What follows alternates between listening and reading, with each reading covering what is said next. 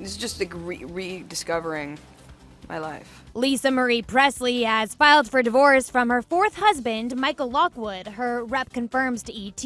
Elvis's daughter tied the knot with Lockwood in January 2006. Michael was Lisa Marie's guitarist, music producer, and director. The couple has seven year old twin girls named Harper and Finley. Court docs obtained by ET cite the reason for the divorce as irreconcilable differences. Lisa Marie is asking for legal and physical custody of their two children and requested monitoring visitations for Michael. The 48 year old also has a daughter and son, Riley and Benjamin Keough, from a previous relationship. She was also married to Michael Jackson from 1994 to 1996 and wed Nicolas Cage in 2002 before splitting months later.